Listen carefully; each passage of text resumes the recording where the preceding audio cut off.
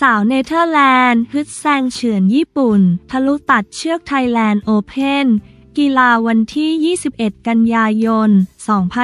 2567 เที่ยงคืน 8 นาที การแข่งขันเทนนิสอาชีพหญิงรายการใหญ่ที่สุดของอาเซียน WTA 250 รายการ l l i n e Thailand Open 2024 Presented by Calcom ชิงเงินรางวัลรวม 267,082 ดอลลาร์ หรือประมาณเกือบ 10 ล้านบาทนะ อารีนาหัวหิน จังหวัดประจวบคีรีขันธ์ เมื่อคืนวันที่ 20 กันยายน 2567 เป็นการแข่งขันรอบเมนดรอ ในวันที่ 5 ในประเภทเดี่ยวรอบก่อน รองชนะเลิศเป็นการเจอกันระหว่างมาอี ฮอนตามะมืออันดับ 130 ของโลกจากญี่ปุ่น ลงสนามพบกับอารีเน่ฮาโตโนนักเทนนิสเนเธอร์แลนด์ มืออันดับ 180 ของโลก ซึ่งทะลุผ่านเข้ามาจากรอบคัดเลือก เซตแรกมาอีกฮอนตามะหวดได้เหนียวแน่น และปิดเซตชนะได้ก่อน 6-4 แต่เซต2เป็นทางอารีเน่ ฮาโตโนอาศัยลูกเสิร์ฟหนักน่วงเปิดทางก่อนทำแต้มและชนะไป 6 ถึง 2 เสมอกัน 1 ถึง 1 เซต ต้องตัดสินในเซต 3 ปรากฏว่า อารีเน่ฮาโตโนยังหวดได้ยอดเยี่ยม และชนะไปได้อีก 6 ถึง 3ทำให้เป็นเป็นฝ่ายแซงชนะมาอีก ฮอนตามัด2ถึง 1 เซต ด้วยสกอร์ 4 ถึง 6 6-2 และ 6-3 ในเวลา 2 ชั่วโมง 15 นาที ผ่านเข้าสู่รอบรองชนะเลิศต่อไป สำหรับในรอบรองชนะเลิศ อารีเน่ฮาโตโนจะเข้าไปเจอกับเลราซิเกมูล มืออันดับ 99 ของโลก จากเยอรมนีที่เอาชนะรีเบคก้ามาซาโรวามืออันดับ 119 ของโลก จากสเปนด้วยสกอร์ 2 ถึง 0 เซต 6 ถึง 3 และ 6 ถึง 4 ด้านประเภทคู่รอบก่อน รองชนะเลิศอลิเซีย บาเนตมือคู่อันดับ 196 ของโลก และมาเดลีนบรูฟมือคู่อันดับ 167 ของโลก คู่หูนักหวดสาวจากสหราชอาณาจักร ชนะยานาเฟด จากโครเอเชีย และมาอีฮอนตามะ มือคู่อันดับ 312 ของโลก จากญี่ปุ่นด้วยสกอร์ 2 ถึง 2 เรตรีทายเนื่องจากคู่ของยาน่าเฟดกับมาอีฮอนตามะขอยอมแพ้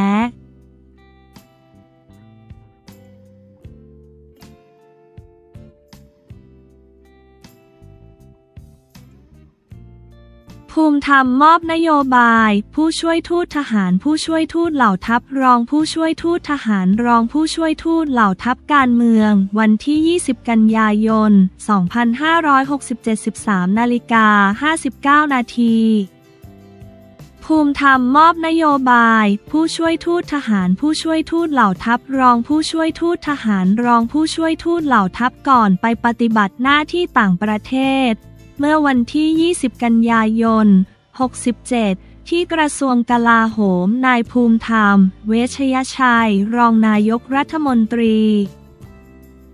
และรัฐมนตรีว่าการกระทรวงกลาโหมให้คณะนายทหารที่จะเดินทางไปปฏิบัติหน้าที่ผู้ช่วยทูตทหาร ผู้ช่วยทูตเหล่าทัพรองผู้ช่วยทูตทหาร และรองผู้ช่วยทูตเหล่าทัพณต่างประเทศประจำปี 2568 ตั้งแต่วันที่ 1 ตุลาคม 2567 จำนวน 19 นาย เข้าอำลาและรับนโยบายเพื่อนำไปยึดถือเป็นแนวทางในการปฏิบัติงาน ที่ได้รับมอบหมายให้เป็นไปอย่างมีประสิทธิภาพตรงตามเจตนารมณ์ของผู้บังคับบัญชา โดยมีพลเอกนัทพลนาค พาณิชย์ รัฐมนตรีช่วยว่า การกระทรวงกลาโหมพลเอกสนิทชนกสังขจันทร์ปลัดกระทรวงกลาโหมพลเรือเอก อดุงพันเอี่ยมผู้บัญชาการทหารเรือผอบอทอรอ และผู้แทนผู้บัญชาการเหล่าทัพเข้าร่วมในพิธีนายภูมิธรรม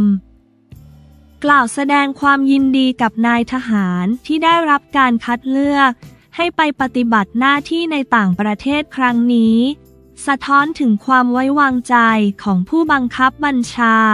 รวมทั้งความสามารถประสบการณ์และการปฏิบัติราชการที่ได้รับราชการมา ภายใต้สถานการณ์ภูมิรัฐศาสตร์โลก ในปัจจุบัน ภารกิจที่ได้รับมอบหมายถือเป็นภารกิจที่สำคัญยิ่งต่อกองทัพไทย และประเทศชาติในการดำเนินการตามแนวคิดยุทธศาสตร์ด้านการป้องกันประเทศ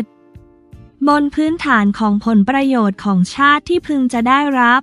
โดยถือเป็นผู้แทนกองทัพไทยที่จะประสานงานกับกองทัพมิตรประเทศ เพื่อแสวงหาแนวทางการเสริมสร้าง ความร่วมมือด้านความมั่นคงและการทหาร ทั้งในระดับทวิภาคีและพหุภาคี ซึ่งจะช่วยส่งเสริมความสัมพันธ์ระหว่างไทยกับ มิตรประเทศ ให้มีความแน่นแฟ้นมากยิ่งขึ้นตลอดจนการยกระดับความไวเนื้อเชื่อใจ ระหว่างกัน ผ่านการดำเนินการทางการทูตฝ่ายทหาร รวมถึงส่งผลดีต่อภาพลักษณ์ของไทยในเวทีระหว่างประเทศในอนาคต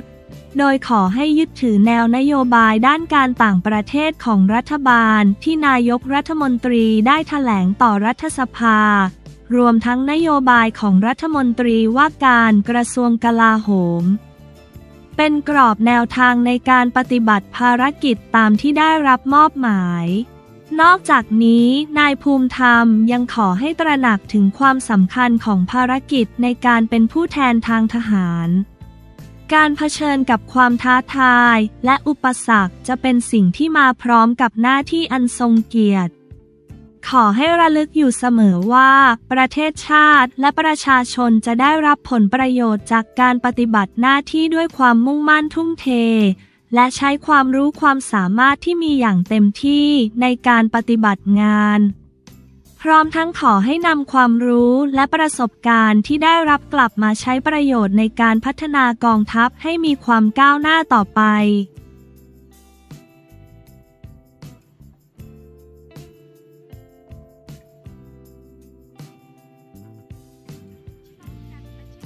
Netflix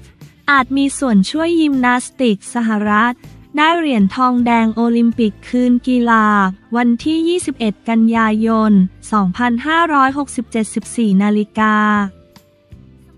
Netflix สตรีมมิ่งชื่อดังส่อ เค้าจะมีส่วนช่วยให้จอร์แดนไชลส์ นักยิมนาสติก ทีมชาติสหรัฐ อเมริกา กลับมามีชื่อคว้าเหรียญทองแดง โอลิมปิก 2024 เนื่องจาก footage ที่ไม่ได้ออกอากาศชี้ให้เห็นว่า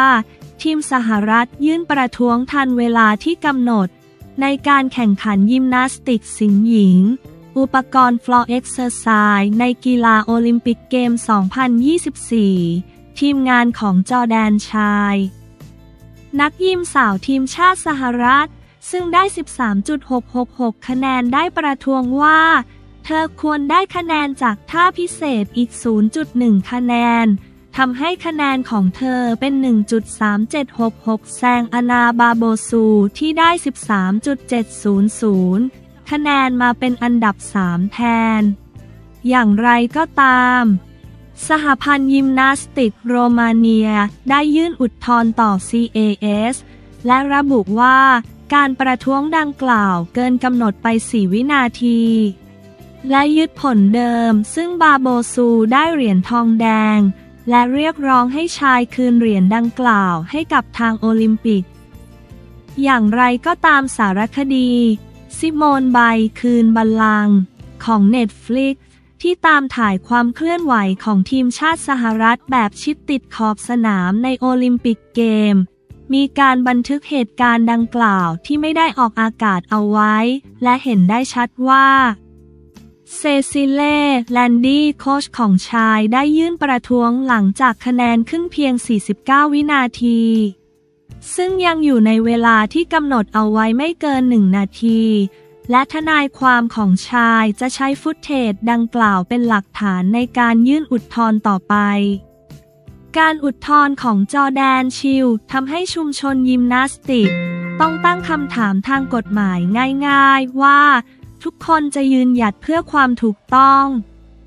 ในขณะที่นักกีฬาโอลิมปิกที่ทำแต่สิ่งที่ถูกต้อง ถูกริบเรียญรางวัลเนื่องจากความไม่ยุติธรรม อย่างร้ายแรงในกระบวนการอนุญาโตตุลาการการกีฬาเฉพาะหน้าหรือไม่ มอริสเอ็มซูทนายความของชายสเผย